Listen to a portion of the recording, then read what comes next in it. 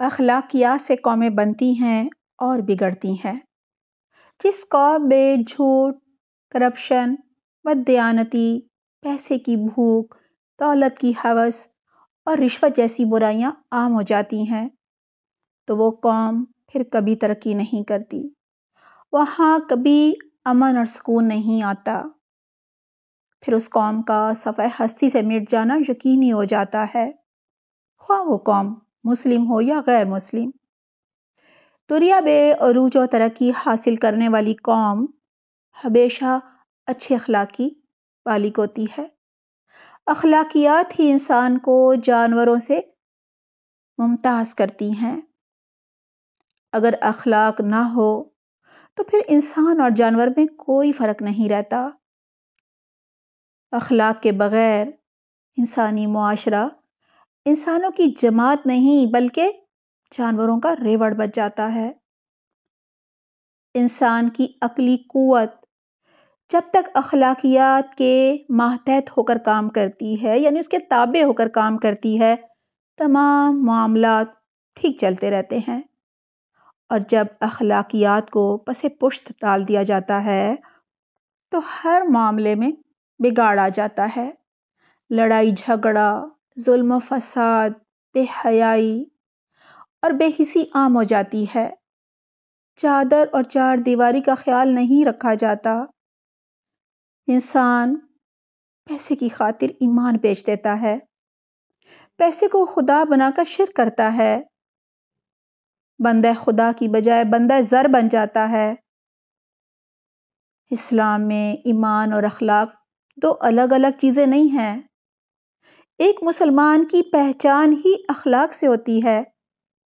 अगर अखलाक नहीं तो ईमान भी नहीं। हमारे प्यारे नबी सल्लल्लाहु अलैहि वसल्लम, कायनात में अखलाकियात का सबसे आला नमूना है। सुरह कलम आयत नंबर चार में है इन्ना कला खुलुकिन अजीम। बेशक आप बड़े अजीम अखलाक के मालिक हैं। रसोल्ला सल्लल्लाहु अलैहि वसल्लम अखलाक की तकमील के लिए भेजे गए थे। रसोल्ला सल्लल्लाहु अलैहि वसल्लम ने फरमाया अकमलमिन ईमान अहसनुहम खुलुकन। मुसलमानों में कामिल तरीन ईमान उस शख्स का है, जिसका अखलाक सबसे बेहतरीन है। एक और हदीस में है, तुम में बेहतर वो है जो तुम्हें अखलाक के अतबार से बेहतर है। पूछा गया, अखलाक किसे कहते हैं? रसूलुल्लाह सल्लल्लाहु अलैहि वसल्लम ने फरमाया, अखलाक ये है कि कोई तुम्हें गाली दे तो तुम जवाब में उसको दुआ दो। कोई तुम्हारी बुराई करे बदखोई करे, तुम उसकी तारीफ़ और अच्छाई बयान करो। और जो तुमसे ज्यादती करे, तुम उसे माफ़ कर दो। अगर हम सब इनफरादी तौर पर अपने अपने अखलाक संवार लेंगे तो इन हमारे माशरे से तमाम अखलाकी ख़राबियाँ खुद ब खुद ख़त्म हो जाएँगी।